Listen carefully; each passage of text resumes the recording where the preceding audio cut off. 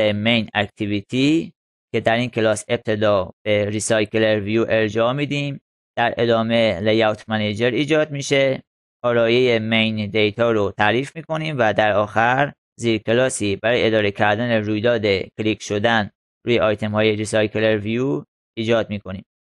کلاس main data def که در این کلاس دو متغیر برای متن و تصویر آیتم های RecyclerView یا همون فهرست مطالب رو تعریف می‌کنیم.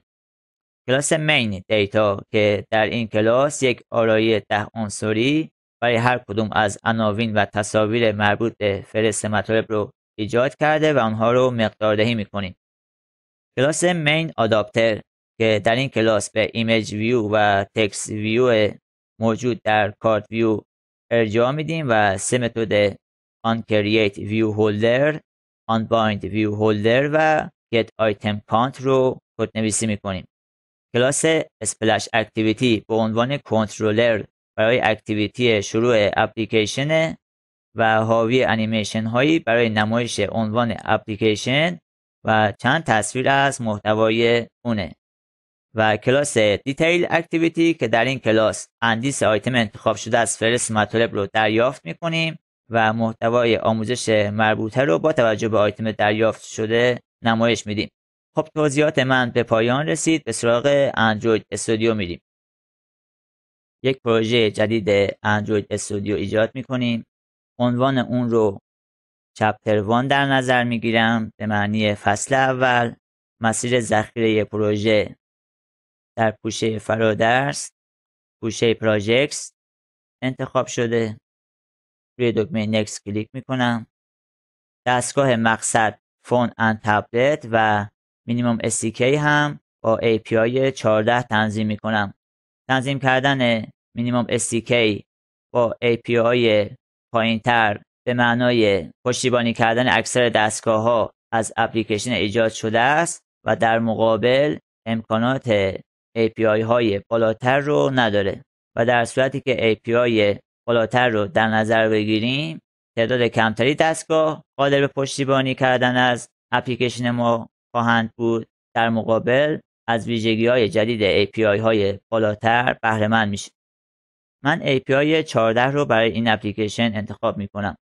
Next الگویی که انتخاب می‌کنیم برای activity اولیه اپلیکیشن empty activity یا activity خالیه و Next نام activity و layout پیشفرض تغییر نمیدیم و روی دکمه Finish کلیک می‌کنیم.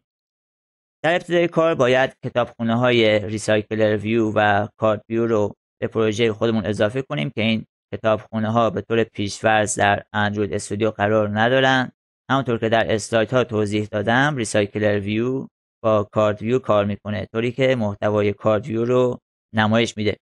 در قسمت اول از فصل اول صفحه فهرست مطالب رو با استفاده از RecyclerView ایجاد می‌کنیم در قسمت دوم از همین فصل. یعنی فصل اول خصوصیات آیتم ها رو تغییر میدیم و اندیس آیتم انتخاب شده از فهرست مطالب رو دریافت می‌کنیم. در ادامه صفحه splash رو طراحی می‌کنیم تا قبل از نمایش فهرست مطالب به کاربر حرکت کردن چند تصویر نمونه از مطالب اپلیکیشن باعث جذابتر شدن اون بشه. خب برای اضافه کردن وابستگی یا کتابخونه های RecyclerView و CardView روی پوشه app راست کلیک می‌کنم گزینه Open Module Settings رو انتخاب می‌کنم. سربرگ آخر Dependencies روی این آیکون کلیک می‌کنم و Library Dependency رو انتخاب می‌کنم. تمام یا قسمتی از عبارت RecyclerView رو تایپ می‌کنم و روی دکمه جستجو کلیک می‌کنم. کتابخونه RecyclerView انتخاب و OK. کتابخونه RecyclerView اضافه میشه. به لیست همین کار رو مجددا انجام میدم. منتها این دفعه CardView رو search می‌کنم. RecyclerView و CardView. روی دکمه OK کلیک می‌کنم. مدت زمانی طول می‌کشه تا Gradle این وابستگی ها رو به پروژه اضافه کنه. خب حالا میریم به سراغ طراحی layout activity آندر